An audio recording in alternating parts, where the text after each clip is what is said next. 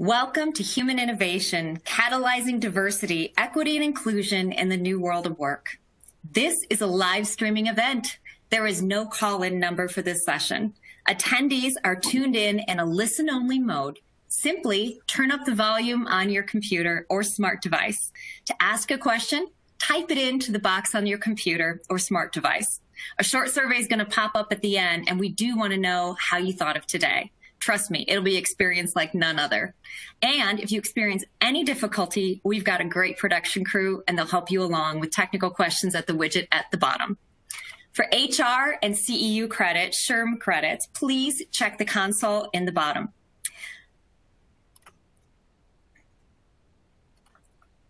And of course, this is only recommendations and guidance. This is not legal advice. Now, my name is Jen Phillips Kirkwood. I'm Vice President of Future Work. And with me today is my comrades, my colleagues, Giselle Moda, Principal of Future Work on my team, and our Chief Privacy Officer, Cecile Georges. Welcome, ladies. Thank you. Thank you. Now, I'd like to set the stage with you a little bit in setting the tone for this webinar on such an important topic across the world today that is really ripped from the headlines and none of us can escape every night as we watch the news. And as leaders, we have a social and corporate responsibility to address this as a priority now more than ever in our organization. And our workforces are seeking empathy, they're seeking your help, and they're also seeking security. And your teams are going to need this. And while I live in Louisville, Kentucky, this story that I'm going to share with you from me could hit in any town, USA or international. So we just had this international event here in Kentucky by the name of the Kentucky Derby. And a friend of mine who leads a national team in a manufacturer just talked and, and shared with me a story about a white employee who just muttered something within a team environment on the shop floor I just wish things would get back to normal. He's had enough of statues coming down. He's had enough of protests, enough of things not being peaceful. And by goodness, he's had enough with his old Kentucky home, a song that sang at the Kentucky Derby, changed at the Kentucky Derby at the last event. In fact, his this is not normal anymore. He wants the normal was found so offensive, that statement alone, his team found it so offensive, his team made up of white, brown, and black people on his team, that it created a discussion on his shop floor and it became so contentious until a manager stepped in. And that statement, I just wish things could get back to normal. Now, hmm, how many times has that one statement been said inside your teams? Often. Remember, this could be said in any town. So how does one statement and so much hostility exist in our workplace today? And yet this is the reality of our workplace. And this means we've got to get uncomfortable leaning in and learning something that is heavily reliant on acknowledging and getting past human bias. The world is so different compared to how we started this year. Our consumer world has a circumference distance of six feet around us, added to the physical distance and masks covering us. And yet it also reveals another mask being widely unveiled in racism and bias. Brands and statues, hey, they're changing and for good reasons. And your companies are trying to make consumers comfortable. And now this is all about people, including our workforces, finding diversity, equity, and inclusion in your leadership, in our workforces, in our organization, and finding ways to, through thoughtful data in which we're going to take you through today. And it's our goal to share with you how data is so key to catalyze the right action, the right recommendations that are needed to move organizations progressively.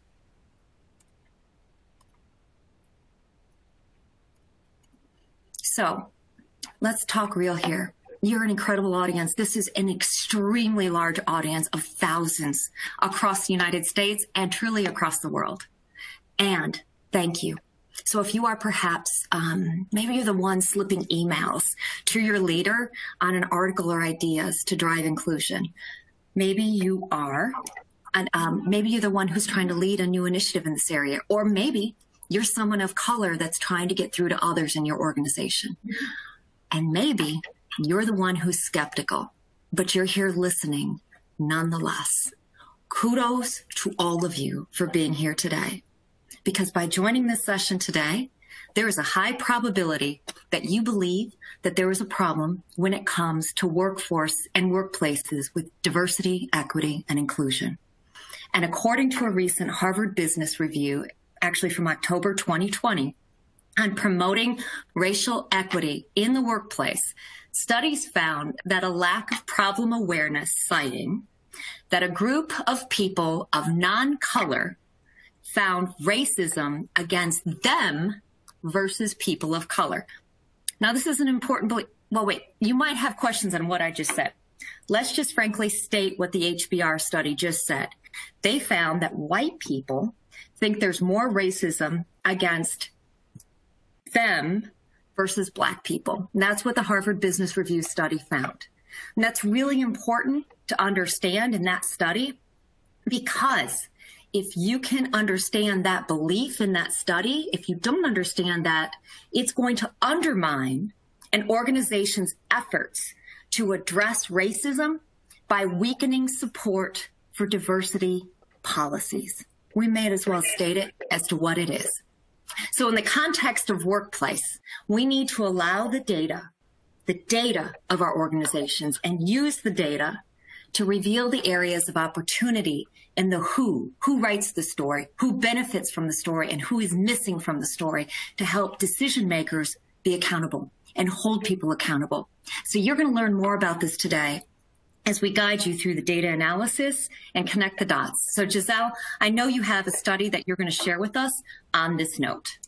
Absolutely. I love that introduction because it's just segueing right into what we're going to mm-hmm. be speaking today, Jen. That's amazing. So, yes, everything that you just said is exactly why human innovation is needed now more than ever before.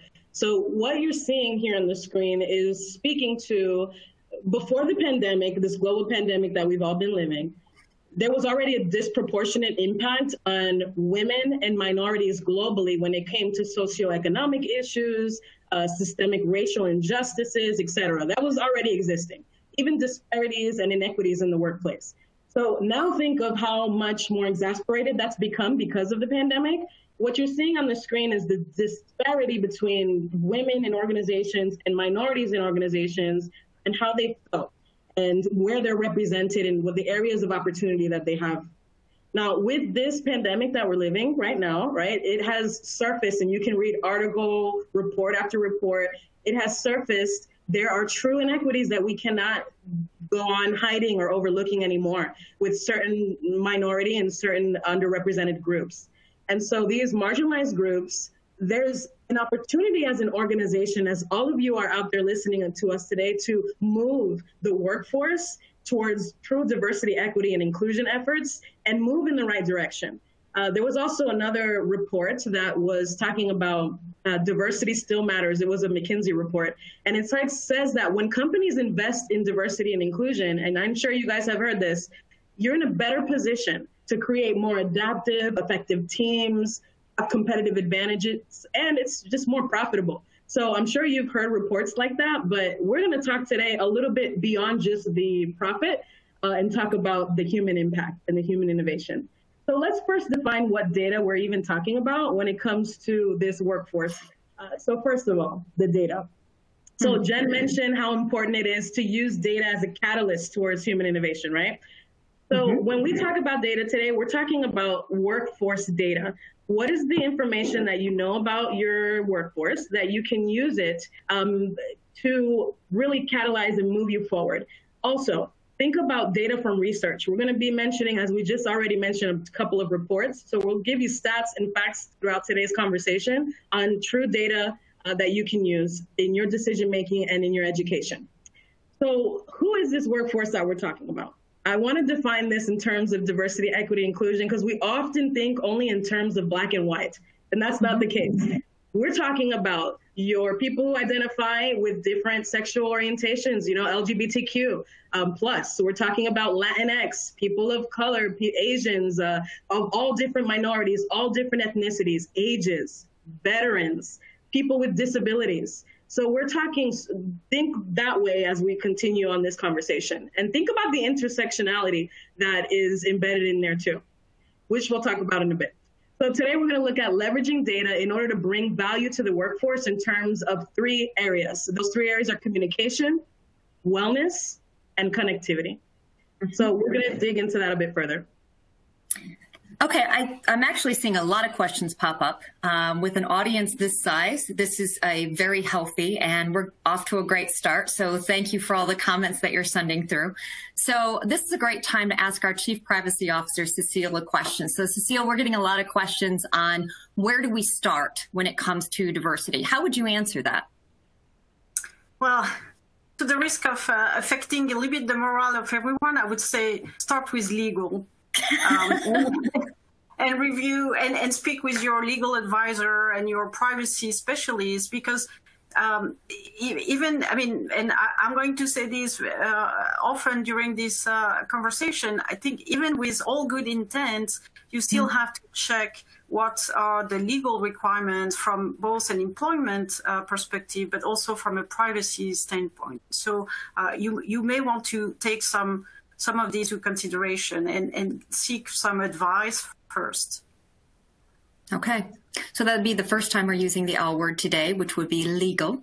Um, so thank you for that, Cecile. Back to you, Giselle. Awesome. So as we delve into those first three points that we talked about, the first one is communication. So when it comes to communication, we really as organizations should ask ourselves three questions, in my opinion. Uh, the first one is how does my organization communicate from a lens of inclusion and belonging? Am I communicating with every message that I give to my workforce? Is it with that perspective of diversity, equity, inclusion, or belonging and uh, inclusion? Second, what message do both my perspective and current workforce receive?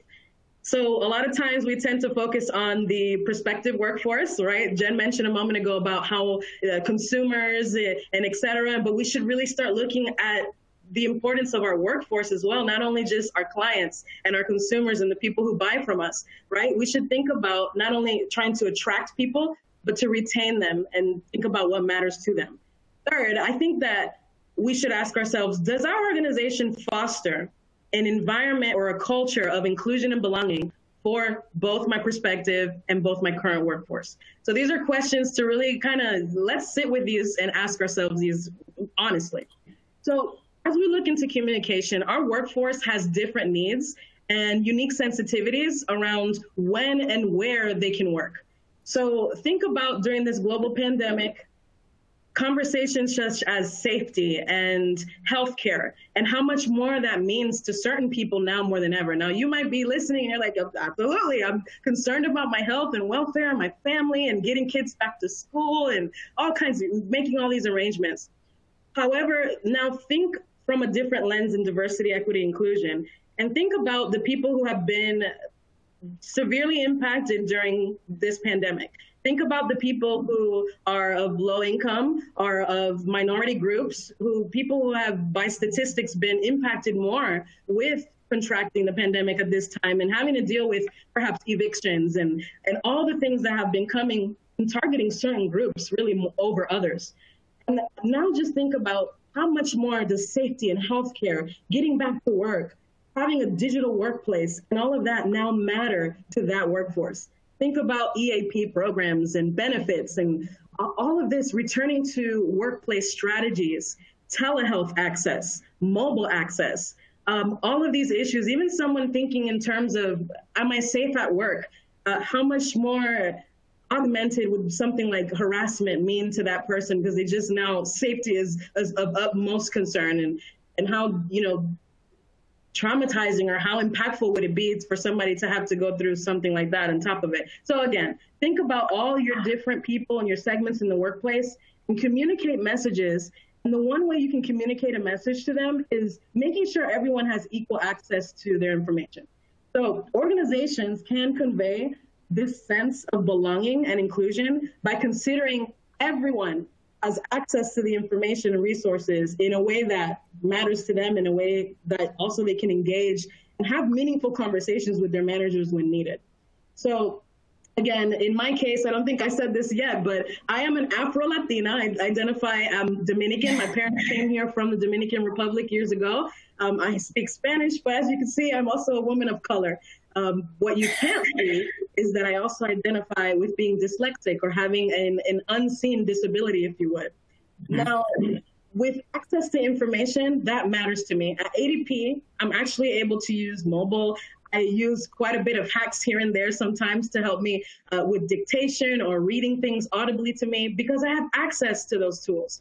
Um, there's a tool that we also have called Audio AudioEye that we actually help uh, people like me to change the font and be able to see things in text that I can read. So the question to you right now, what if you had someone like me working in your organization? Would that person be able to access information in a way that made sense to them, in a way that considered them? So that's the question to ask. All right. So the other piece that I wanted to bring up quickly is communicating that sense of belonging uh, goes beyond yes accessibility but also think about people's language. Are you considering the different languages that people have in the organization and can they access information in a way that makes sense to them?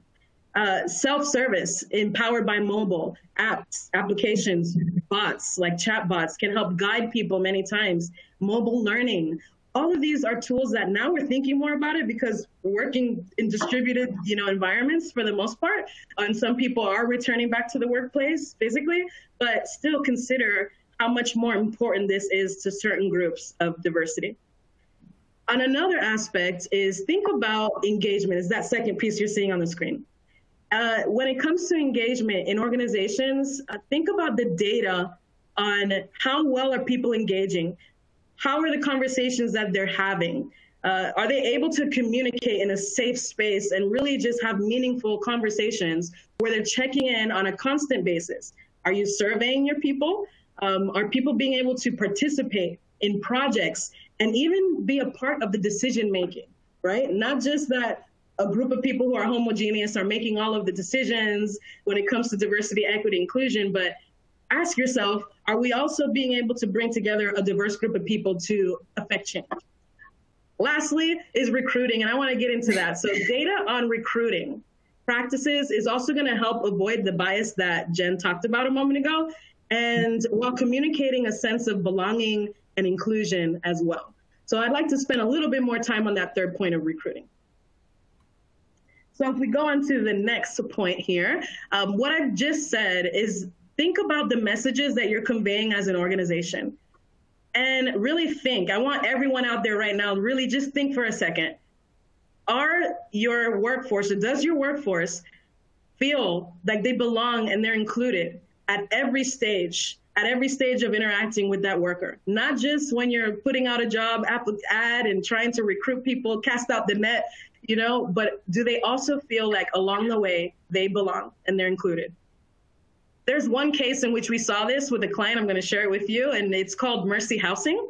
Um, I have to give them kudos off the cuff because we're going to talk about the amazing things that they've been doing. But this is an example for you. And from ensuring that everyone had access to worker information, like I said, like the way that they can receive it, uh, that it was inclusive of everyone, to creating opportunities to engage and check in and have meaningful conversations and recruiting strategies that really upheld their focus on diversity, equity, inclusion. So it's an example I'd like to highlight. So let's let's take a look at what Mercy Housing did. So like I said a second ago, communicating messages of belonging and inclusion, they really start at the recruiting stage. Do you guys agree with me there? Because I know Cecile and Jen, do you guys think that we really have to start setting out that message from the very point that we access someone at recruiting? Absolutely. Yeah. All right, cool. So I'm just making make I gotta pull my eyelids. we don't dare disagree with you, Giselle, at this point. I love it. Thanks, we don't need a poll for that. so here, data can be used to answer questions like who is welcome into my organization, right? And and I, I love data because data tells a story. Data will look into what's happening in your workforce and what's happening in your organization. It will tell you the story that you probably sometimes don't even want to know, but it will help empower you to make decisions and remain accountable. So think about data, for example, the job postings, the semantics or the verbiage that you use. Are they inclusive? Um, or do they really try to go after just one kind of group of people and it's only included to, for example, language and lingo that's going to be catered to a woman for a role when you're just excluding that male population or someone who identifies as male. Then think about data on where candidates are being sourced and where postings are being marketed. So, do you have diverse partners uh, that are reaching out to diverse audiences on purpose to truly find that that group that you're looking for in your organization or that you should be looking for. That's the wide net. Uh, think about in recruiting data on potential, uh, potentially bringing in skills, regardless of where that worker is. So I had a conversation with someone not too long ago, and they were talking to me about the power of gig work and how important it is that if you have a role in your organization, open it up. We, we're in this digital age today where you can have positions where people work remotely or digitally um, through freelancer gig opportunities. Imagine uh, someone that you wanted to do some coding and you had a project available from Sil- in Silicon Valley where your organization might be located. But you have this individual from Compton who didn't go to an Ivy League school, who probably wouldn't be in the runnings, you know, d- doesn't go to the, the clubs and the associations where everyone else does, yet this person is highly skilled and gifted when you open up the playing field in recruiting, then all of a sudden you're opening and democratizing that experience for mm-hmm. everyone, right? So that's that's one way as well in recruiting that you can amplify. So think as well about data on who is doing the interviewing and the decision making in the organization. So if everybody looks the same at the table who are making the decisions on recruiting and screening and hiring, you might have a limited view on the types of people that make it and progress along the way in the pipeline. So there's a the very interesting report on that note that I wanted to mention. Um, is there was a 2020 diversity best practices inclusion index by Working Mother Report or Research Institute. Uh, they actually looked at the top 20 ranking diversity and equity inclusion organizations, and among them, surprise, ADP was in there. Kudos to ADP out there. And the index actually showed, and this is interesting, while 100% of people of those 20 top or 20 top ranking organizations require diverse interview slates, only 75% of them require the panel of interviewers to be diverse.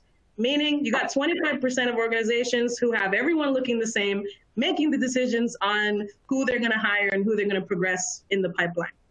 So communicating messages of belonging and inclusion it's also in recruiting, it has to do with who is making that ultimate decision. So I would urge everyone listening, let's think about that. If you can make a change, challenge your recruiters, challenge your recruiting function. Do we need to make some changes to make sure that we're as diverse as possible so we mitigate human bias? Right? Great point. I don't think anyone would debate with you right now at this point. In fact, if you're not awake from that, I would say pick up your coffee at this point because now we want to hear from you. We've got a poll for you. In fact, based on the recruiting conversation that we just had and we heard about from Mercy, we want to ask you, are you using AI and machine learning in your recruiting today? We want to know, yes, you are. No, you are not using.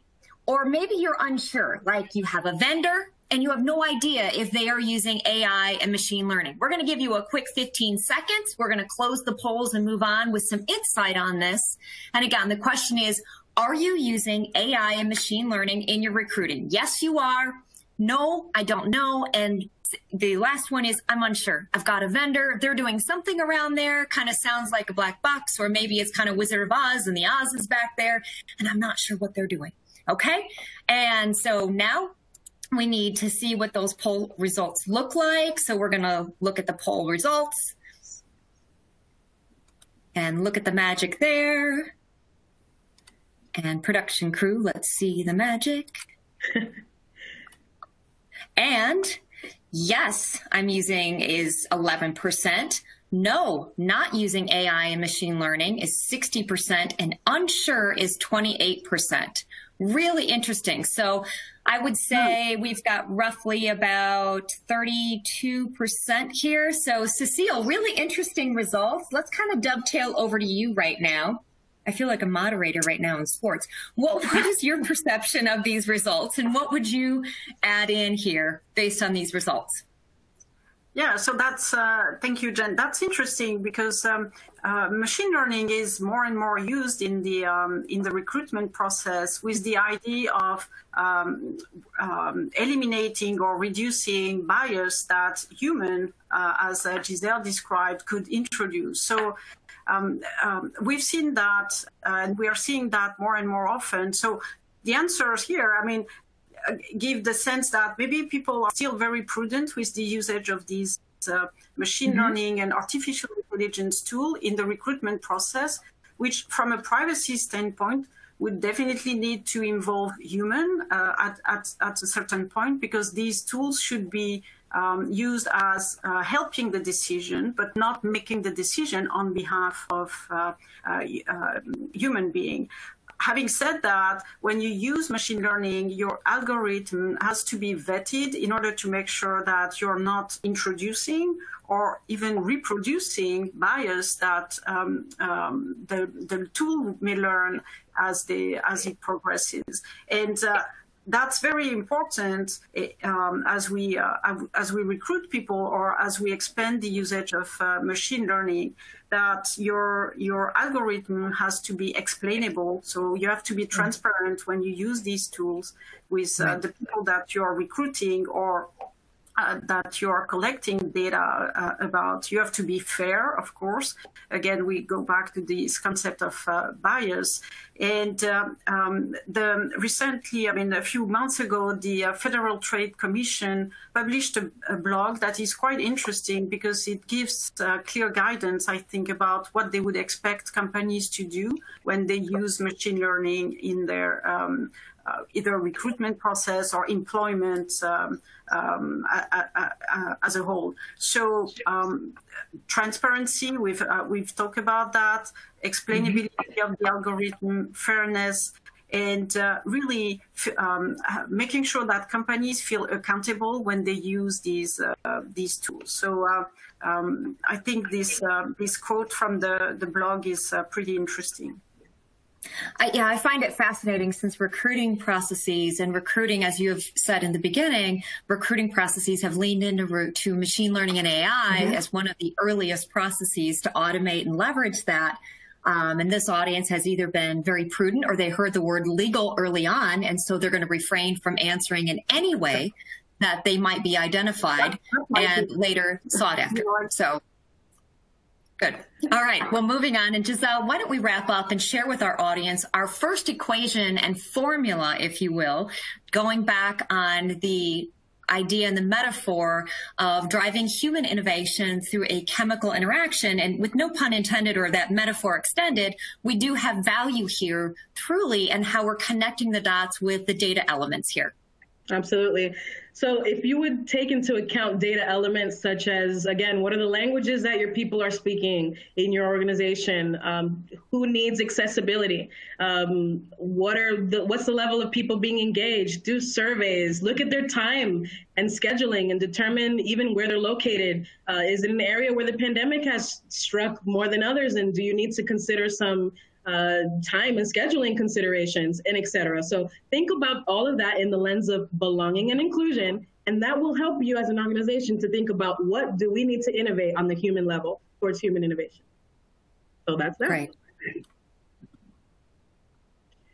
So Excellent. the next point, because we just talked about communication, right? So the second point, in addition to messages of belonging and inclusion to your workforce, is about wellness. So it's also important to consider wellness, especially, like I said before, during today's situation. Um, I mentioned the pandemic, but I failed to mention the other truth that's happening now is all the racial unrest that's happening at a global level. Um, unfortunately, that's that's the issue that we're facing in today's society. It amplifies socioeconomic realities, as I said before, but it also amplifies safety and health concerns. Certain genders, ethnic uh, groups, certain people with disabilities, uh, we can't all think that everyone is thinking about returning to the workforce or returning to the workplace, excuse me, or even working from home the same way. Everyone has different nuances because of who they are and different challenges. And we should consider that. In addition to feelings of physical and mental safety, uh, helping people towards a sense of belonging and inclusion in the workplace, we should really think about one that's overlooked a lot, which is financial wellness. Now, I said before that I came from parents who migrated uh, from the Dominican Republic. So, my own personal background, I don't have uh, experience in financial um, education and the knowledge. I mean, a lot of Dominicans who just first got here, they, you know, worked on, in fields. They worked in anything they can get their hands on in entrepreneurship, etc. And they kind of hid their money under the mattress. That was the bank system. so that is, you know, we didn't have this knowledge of IRAs and CDs and uh, how to build wealth, basically. So these are things that I personally have had to learn later on in life and be self-taught and, and, look for resources. The reason why I mention that is because of what you're seeing and what you're going to see here on the screen is a chart that is really referring to how certain marginalized groups already have disadvantages when it comes to financial wellness. And again, this is something a lot of us don't tend to think about, right? We just think uh, often in terms of kind of pay equity when it comes to the workplace, which is definitely a topic we should consider. However, we don't think about educating and empowering the workforce to truly feel like they belong and they're included by financial wellness and financial inclusion.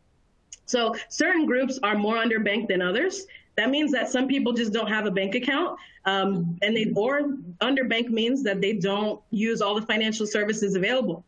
Um, there are some truths such as like uh, some people don't have access to loans and, um, certain privileges and certain opportunities that other people would have. So, for example, U.S. and the United States, Hispanic and Latinos or Latinx people are more likely to experience stressors that are related to economic insecurity and more likely to work in essential roles than others. So during this pandemic, and that was a that was a quote from McKinsey on the U.S. Hispanic and Latino lives uh, during this time. There's another report that came out about Asian Americans. Um, also, think about Black households.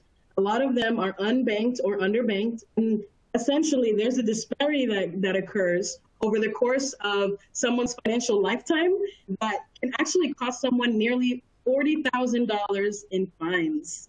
So what you're seeing here on the on the screen is again how people are unbanked or underbanked and how important it is for your workforce. If this is your workforce, organizations have an opportunity to look at data on workforce demographics, catalyze efforts towards financial inclusion, give people digital pay options, um, you know, help them get early access to their wages if they need that, and really help empower them with their financial literacy.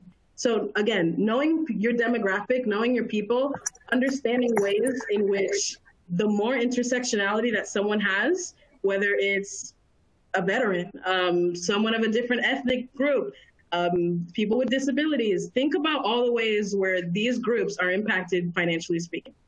So what you saw, I think the slides were going a little bit there, but the next one is showing you that taking the opportunity to truly bridge the gap uh, because financial inclusion is the bridge between economic opportunity and true financial outcomes for people. If you want to empower your workforce, give them opportunities to access, like we just said, their pay, um, to be able to uh, learn and to save and build wealth. And so, an opportunity that we we saw with uh, one of our clients, Sprinkles, is is the cupcake uh, company. If you haven't heard of them before, this uh, yes. young lady, what you guys have heard of the cupcakes? you, know, what, Giselle? This is my this is one of my favorite stories. I've got to stop you for a minute, and I this is just one of my favorite stories about a young person's car that broke down about being underbanked. So go on, mm-hmm. but it's just one of my favorite stories out there um, that I think many employees and many workers, we say workers in general, with those that are freelance or gig, um, that are just picking up gigs, can really relate to and it should really connect with many organizations out there, certainly all on the, the call today. Right. And you just you just touched on that story. So basically, she wasn't able to get to work um, because she was having some issues, but because she had access to pay early, she was able to overcome those hurdles and get to work. And she's a proud employee. She even took up more shifts because she's that much more dedicated now, and she's empowered to be able to to work and work without without distractions. And guys, again, if you're hearing on the audience today, these are issues that a lot of your workforce faces. And so you might not commonly think about this, but it's real. In a matter of, as a matter of fact, what you're seeing here uh, is another McKinsey and Company report. Uh, look at this: 28% of banks in white neighborhoods, um, yet so many black households rely on an alternative financial services. They have to a lot of times go um, live paycheck to paycheck, or 60% of their paychecks.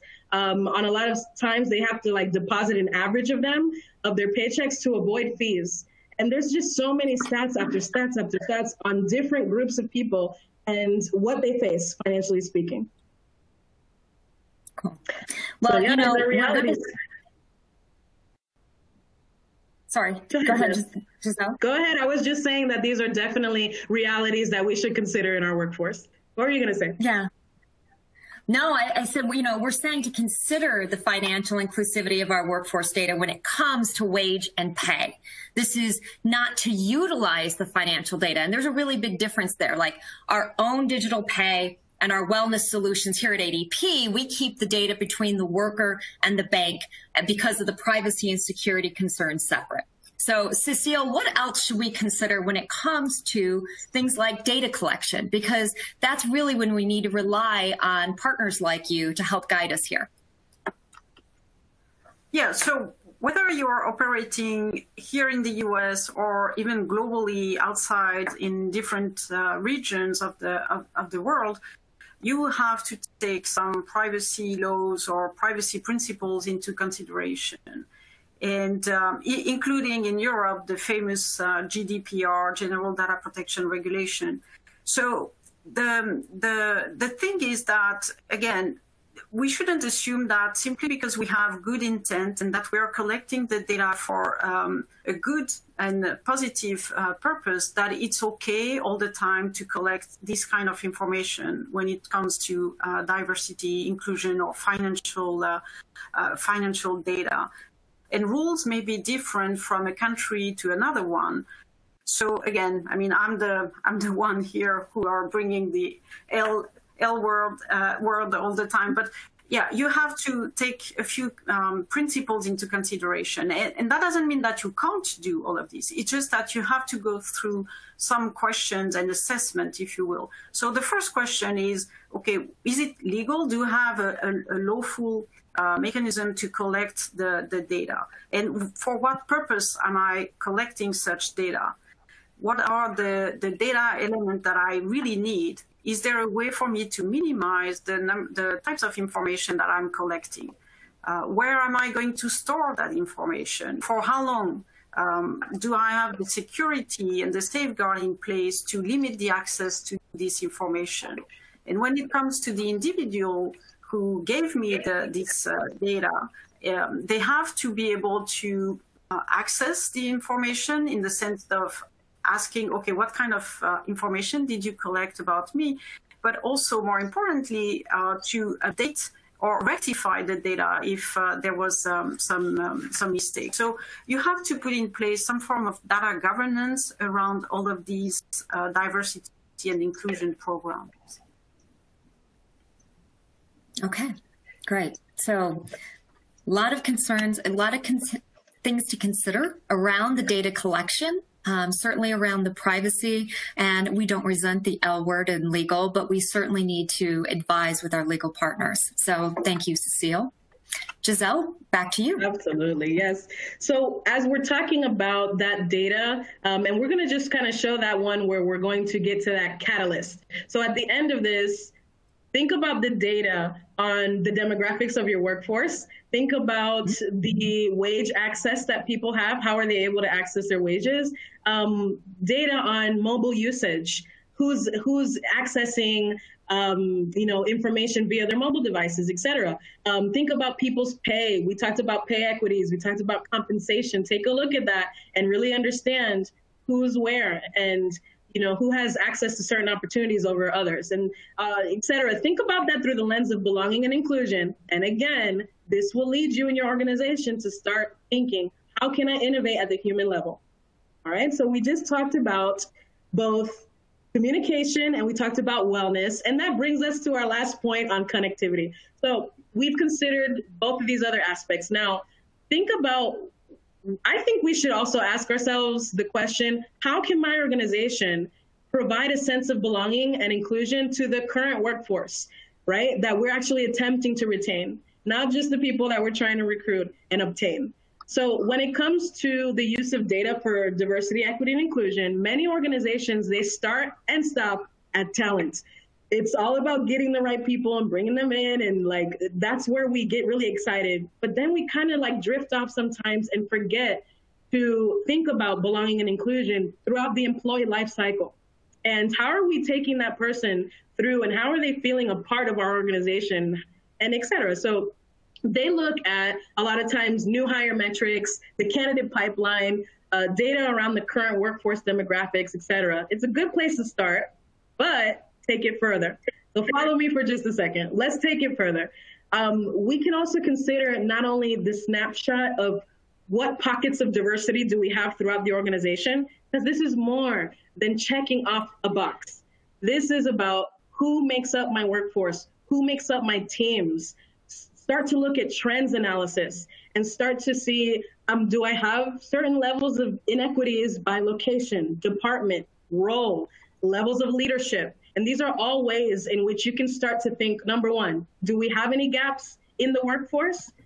Who's missing? is everyone in the IT department of a certain racial profile or ethnicity or a certain age demographic? Like, why? Why would that be the case? Especially to the L word over here, back to legal. We were talking about AI and uh, machine learning a second ago. But think about this: if your people are who are all working on things, uh, technology-based, artificial intelligence, machine learning, and they're all a homogeneous group, that can mm-hmm. actually also sometimes lead to inherent and unconscious bias. So amplify the group of people that you have working in certain areas. Secondly, think about your team composition. What diversity of skill, expertise, and perspective is included in my teams? And then access to opportunities. We we talk about this a lot. It has been the subject um, of a lot of people's mm-hmm. concerns. Is the more the higher up you go in ranks and in leadership opportunities, the kind of less diverse it gets as you move up the ranks. And so that why is that? And shouldn't that change? And shouldn't we help hold ourselves accountable, even with data, dissecting and understanding our workforce and understanding uh, where do we stand and how can we be how can we be better? Quite honestly. So let me talk about quickly those first two points. Let your data answer questions on who is your workforce. So data on who the workforce is, um, who's doing the work, what skills are represented. Um, think again, external opportunities that you might have, external projects, you can bring people in to work on those, or internal gig opportunities or um, projects within your organization. Give people a chance to get on projects, to extend their skill set, to get on, go beyond what you would have normally perhaps categorized them under, and give people a chance to expand their skills. Bring people in on purpose. Um, and perhaps, like at ADP, we offer a platform that brings together what we call dynamic teams. And what that is is just fostering an environment for different people to be able to, to gather together. Um, diverse teams. There's research on this by McKinsey uh, under a report called Diversity Still Matters in 2020. Diverse teams are more innovative, they're stronger, they anticipate shifts in consumer needs, they're more resilient. So think about these times during the pandemic and how much everybody had to kind of shuffle around. The more diverse teams are, the better off your organization can be for business continuity. So think about that. Let the data reveal who's missing from your teams, as I mentioned before. Who's at risk of leaving your organization? Are some of those top performers some of your people like again me or or even some of you know us who are on the call today like are those some of your top performers that are at risk of leaving because they're overdue a compensation analysis, right? Something better, a, a promotion opportunity. What is it, and who's your top people that you should be thinking about retaining? And so similarly, think about you know business resource groups. Um, these are softer areas that aren't so much around data, but think around opportunities, mentoring, developing, providing learning opportunities for people to really give people of diverse background opportunity. So on the next slide, you're going to see uh, a story here that I love. And not only can we look at data on demographics, right? We don't want to check off boxes only. That's that's not effective. No. We've been doing that. So the key thing here is to start looking at people and what are the different strengths and perspectives that people bring to a team. I'm going to share this. I'll put Jen on the spot for a second. Jen mentioned that this is off script. Is off script. Jen mentioned at the beginning that I'm a part of her team. Uh, when mm-hmm. Met me, um, she just kind of embraced and has continued to embrace my diversity and what I bring in uniqueness. I told you guys that I have dyslexia, so that brings its own set of challenges. I'm sure it's sometimes when she interacts with me, she can notice some of those things. But think about even me as being someone who's neurodivergent um, which which you can be someone on the spectrum, someone with uh, uh, dyslexia, whatever the case is. All of those are cognitive diversity aspects.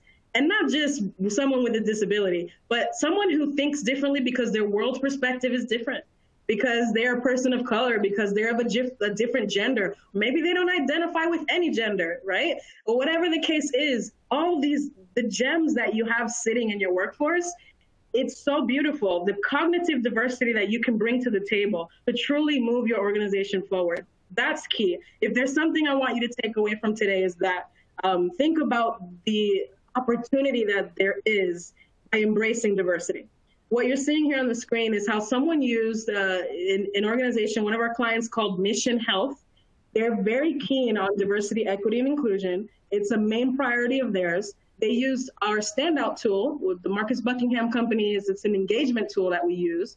And the cool thing about it, the very interesting thing about it, is why I mentioned Jen before, is because on our team, we have different people represented, such as myself, and we have different strengths. And we don't look at people just based on any, let's say, not only their diversity, but also what are the different strengths, the perspective, the unique skills that this person brings? How do they think? and how do we leverage and motivate and encourage that person you know to utilize them in their team but also to help that person feel empowered in who they are and that's exactly what mission health did their diversity uh, director diversity equity inclusion director commented as you see on the screen that this was extremely impactful and it continues to be impactful in their organization so kudos again to them so one other case here, I said it a second ago, but cognitive diversity is what? It's valuing and creating space for unique perspectives, expertise, and skills in your workforce. So do that. Definitely take advantage of the differences that you your workforce brings to the table. So I want to highlight some data pieces in this next slide um, and kind of lean in here. So again, Jen said earlier, if you weren't awake, wake up here. I want you to pay attention to this slide. It's very telling. This is a report that came um, and is talking about what you're seeing in the various degrees of top, across the top, is the more intersectionality of diversity that someone experiences, all the way from being a male to being a black woman or identifying as a black woman with perhaps a disability or something like that, the, the less people feel opportunities are granted to them in the workplace. So the more diverse you are, and according to this report, the less you feel like you have opportunities. And that's a problem. I think that as organizations, we should think about who um, and using data to reveal who has access to opportunities versus those who don't have access to opportunities. So again, look at your leadership pipeline. Look at roles, departments, look at your managers, look at all of these key issues. And some quick examples that I want to point out before we move on is only 4% of Black women are in the executive level of roles today. These are stats that are coming between McKinsey and a Working Mother Research Institute. Black men are only 2.4% of corporate executives at the top 10% of organizations. Latinx women are only 1.5 of corporate executives. Mm-hmm. I could go on and on. You talk about LGBTQ women are twice as likely as women overall to report being the only on their team, the only leader, the only, you know, person in their role, the only person, et cetera, the only. So that that onlyness is something uh, interesting as well. So think in the context of so many different ethnicities, races, backgrounds, and how important it is to think about data, um, to uncover areas of opportunity and to hold yourself accountable as an organization. So as we as we kind of wrap this up, there's a couple points here that I'd like to make. And one of them is think about this. Data, we can look at data all day long. But it's more than, like I said, checking off boxes. You have to allow the data to ask the right questions and hold yourself accountable. What is what story is your data telling you about the health of your organization, the health of your diversity, equity, inclusion? Yes, Jen. What do you? You seem like you wanted to say something. Go ahead. I want to say a lot of things, but not right now. Go ahead. oh, okay. So the the other thing is again, let's not just track. Know where you stand as an organization, as a leader, as a department. And then even if you feel uncomfortable because the data tells you a truth that you don't want to see or hear, make moves and make changes because this is going to help, you know, lead towards recommendations and improve and take action towards inclusion and belonging because you have this visibility of data that's really catalyzing you towards human innovation. I'll send this back to you, Jenna. Your time to speak. You time to chime in. Yeah, it's so much more than dashboards when people say, where do we start? And certainly with the advisement of legal, but it's also about where those questions are and asking yourself, what are the questions that we're trying to solve with those diversity, equity, and inclusion interests and asking those questions and storyboarding them. And certainly ADP with our data has been just an incredible source of that storyboarding with our client. So now the question is, who is being left out of that inclusion and belonging when it comes to the opportunity in that workplace. Because if everyone is getting access to those opportunities and it's homogenous, we're missing the mark. So, Cecile, could you give us your perspective now and looking at the global differences in the data? Because certainly globally, uh, we, the world looks at this data a little bit differently. Yeah, as you said, diversity is in itself diverse as well, right? And there are differences, uh, cultural differences, geogra- geographical differences, and even the the the, the meaning of this uh, word maybe uh, may take uh, uh, different aspects um, around the globe. And when when for global companies, that's the challenge, right? Because when you start collecting this information and, and about your workforce, you have to think about okay, how my my drop down menu is going to look like? What kind of information am I going to collect? Or is it going to speak to the people that I'm sending this uh, form to? Because uh, from a, I mentioned Europe, and I'm I'm from Europe. Um, so I can take that exam- example. Um, these uh, questions are viewed in a in in a different manner, and um, uh, ethnic origin or uh, religion or health data are uh, uh, considered as sensitive data. Uh, from a mm-hmm. again from a privacy standpoint mm-hmm. um, in in Europe, and there is history behind this, um, and that's also to protect people because, um, as you know, I mean, uh, during uh, World War II, uh, this um, information related to uh, to the religion of people were, I mean, were used in a, um, as you said, for for the very bad reason that you know. I mean, and it's uh, put it uh, to put it very mildly here. But actually, this is the origin of privacy and those laws in Europe because.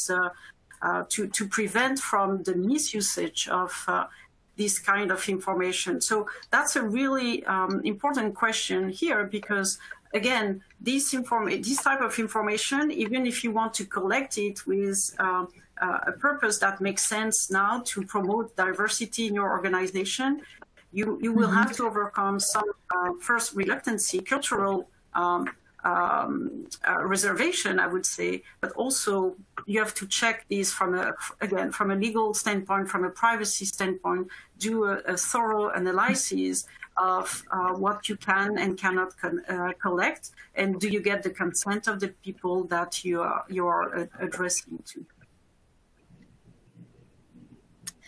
Great. Yeah. So as we said, so uh, you know, so lovely put um, Cecile as always, and so intelligently. So ethnicity and diversity so defined differently outside of the United States. We have so many global companies on today that I'm sure are very well acquainted with that. But certainly, you need to consult with legal if you're going to start tracking, or if you're near shoring and this is new for you.